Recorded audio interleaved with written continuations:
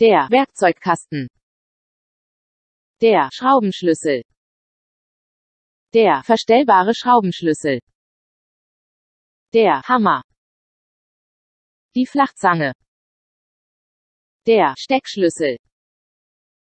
Die Wasserwaage. Die Unterlegscheibe. Die Mutter. Der Schlüssel. Die Kombinationszange. Der Steckschlüsseleinsatz. Das Tapeziermesser. Das Metermaß. Der Schraubenzieher. Die Schraubenziehereinsätze.